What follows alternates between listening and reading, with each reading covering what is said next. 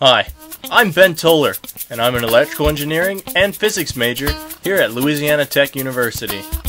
And I'm Emile Frey. I'm a junior electrical engineering major, computer science minor at Louisiana Tech University. And we're proud members of IEEE. We would like to say thank you for using our other videos as inspiration for this contest. We'd also like to give IEEE all rights to this 90 second video clip. And we also like to say thanks again and good, Good luck, luck. to everybody who enters the contest.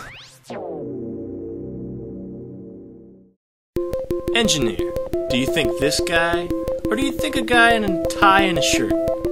What about a guy with uh, suspenders? Or maybe even a pocket protector? And if that's not enough, let's throw in some glasses. Well, to be honest, an engineer is really just a normal person. We're regular people who have one thing in common we want to change the world.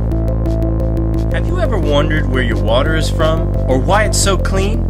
How about buildings, cities, transportation, cars, electricity? Engineers are responsible for designing everything that increases the quality of life. So, how do you become an engineer? All it takes to be an engineer is to have dedication, imagination, communication, and the desire to change the world. They can work anywhere from schools to industries and even the government. But it's never a solo effort. In order to get the most out of a design, engineers work in teams. And if it wasn't for engineers, we wouldn't have things like robots, gaming, amusement parks, automobiles, space exploration.